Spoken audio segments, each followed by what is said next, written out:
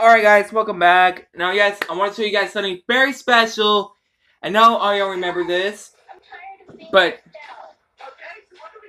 here it is. The Liberty Brew. They just got in in Walmart just today. So yeah, now there's some art on the can. That's all y'all know about it. It's a limited edition flavor. Just like the Dark Berry Mountain Dew that we did do a taste a test on that last week. Sunday last week. But anyway, we're doing a taste test on YouTube.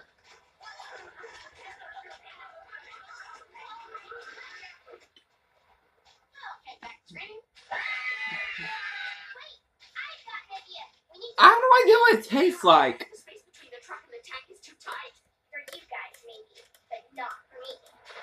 It says so 50 flavors in one.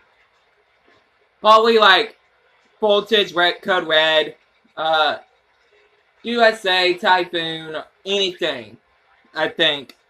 So yeah, guys, hope you guys like, comment, subscribe.